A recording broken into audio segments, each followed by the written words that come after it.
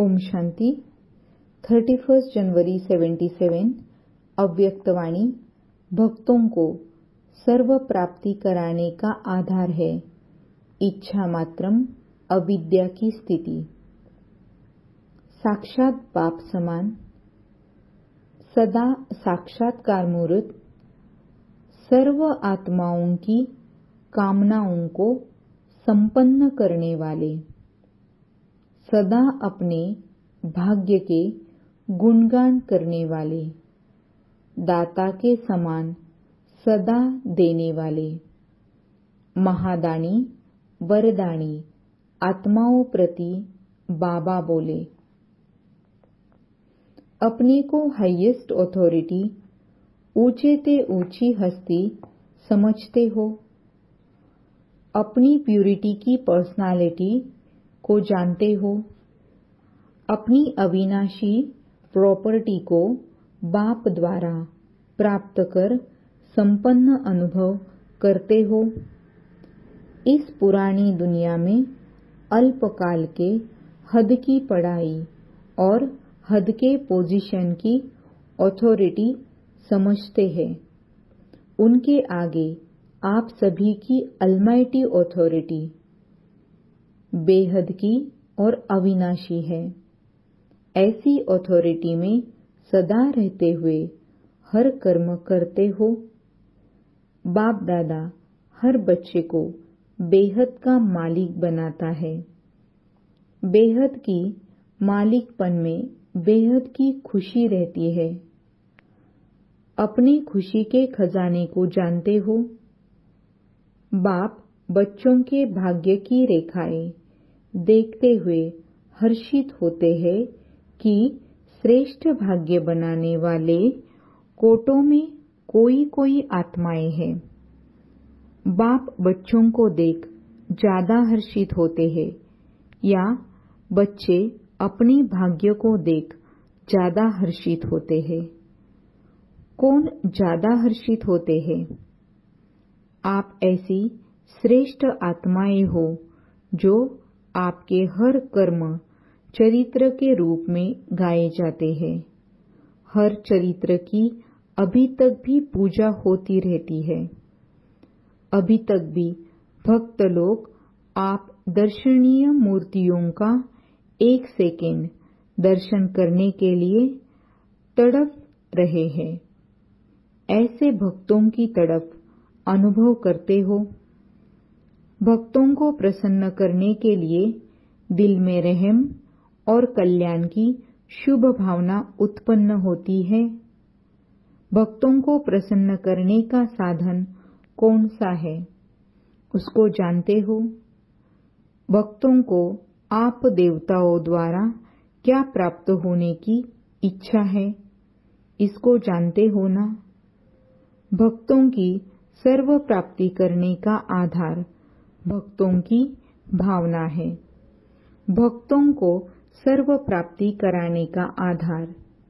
आपकी इच्छा मात्रम अविद्या की स्थिति है।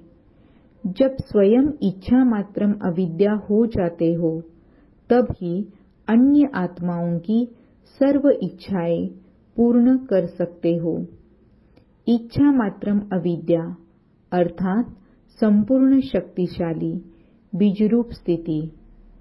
जब तक मास्टर बीजरूप नहीं बनते, बीज के बिना पत्तों को कुछ प्राप्ति नहीं हो सकती। अनेक भक्त आत्माएँ रूपी पत्ते जो सूख गए हैं, मुरझा गए हैं, उनको फिर से अपने बीजरूप स्थिति द्वारा शक्तियों का दान दो, जैसे जड़ चित्रों के दर्शन पर भक्तों की क्यों लग जाती है? वैसे आपको चैतन्य में भी अपने भक्तों की क्यों अनुभव होती है? क्या अभी तक भी भक्तों के पुकार के गीत सुनना अच्छा लगता है? बाप दादा, जब विश्व का सैर करते हैं तो भक्तों का भटकना, पुकारना देखते और सुनते हैं तो तरस आता है। आप कहेंगे कि बाप दादा ही साक्षात्कार करा दे और भक्तों की इच्छा पूर्ण कर दे, ऐसे सोचते हो। लेकिन ड्रामा में नाम बच्चों का, काम बाप का है। तो बच्चों को निमित्त बनना ही पड़ता है। विश्व के मालिक बच्चे बनेंगे या बाप बनेगा? प्रजा आपकी बनेगी या बाप की बनेगी। तो जो पूज्य होते हैं, उनकी प्रजा बनती है। उनके ही फिर बाद में भक्त बनते हैं। तो अपनी प्रजा को या अपने भक्तों को अब भी निमित्त बन शांति और शक्ति का वरदान दो। जैसे बाप बच्चों के आगे प्रत्यक्ष हुए, वैसे अब आप इष्ट देव भी अपने भक्तों के आगे प्रत्यक्ष हो। देवता व देवी अर्थात देने वाले तो विधाता के बच्चे विधाता बनो। अपने लाइट का क्राउन दिखाई देता है। रत्न जड़ित ताज, इस लाइट के ताज के आगे कोई बड़ी बात नहीं लगेगी। जितना जितना संकल्प, बोल और कर्म में प्यूरिटी को धारण करते जाते हैं। उतना यह लाइट का क्राउन स्पष्ट होता जाता है। बाप दादा भी सभी बच्चों के नंबरवार क्राउन देखते हैं। जैसे भविष्य में राज्य के ताज भी नंबरवार होंगे, वैसे यहाँ भी नंबरवार है। तो अपने नंबर जानते हो? छोटा ताज है या बड़ा ताज? ताज है तो सभी के ऊपर। जब से बाप के बच्चे बने, पवित्रता की प्रतिज्ञा की तो रिटर्न में ताज प्राप्त हो ही जाता है। सुनाया था ना? अलमाइटी अथॉरिटी के बच्चे बनने से, अर्थात अलौकिक जन्म होते ही ताज तख्त और तिलक जन्मसिद्ध अधिकार के रूप में प्राप्त होता है। ऐसे अपने भाग्य के चमकते हुए सितारों को देखते हो।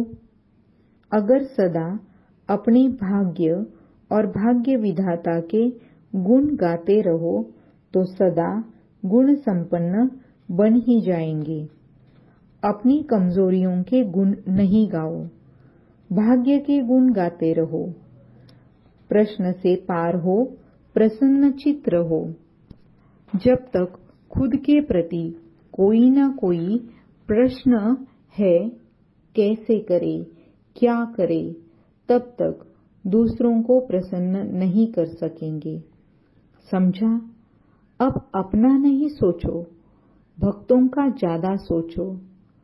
अब तक लेना चाहिए, नहीं सोचो, लेकिन देना सोचो। कोई भी इच्छाएँ अपने प्रति न रखो, लेकिन अन्य आत्माओं की इच्छाएँ पूर्ण करने का सोचो तो स्वयं स्वतः ही संपन्न बन जाएँगे। अच्छा ऐसे साक्षात, बाप समान, सदा साक्षात्कार मूर्त, सर्व आत्माओं की कामनाओं को संपन्न करने वाले, सदा हाईएस्ट अथॉरिटी की स्थिति में स्थित। प्यूरिटी के पर्सनालिटी में रहने वाले, सदा अपने भाग्य के गुणगान करने वाले, दाता के समान सदा देने वाले, महादानी सर्व वरदानों से संपन्न वरदानी, ऐसे महान आत्माओं को बाप दादा का याद प्यार और नमस्ते। ओम शांति।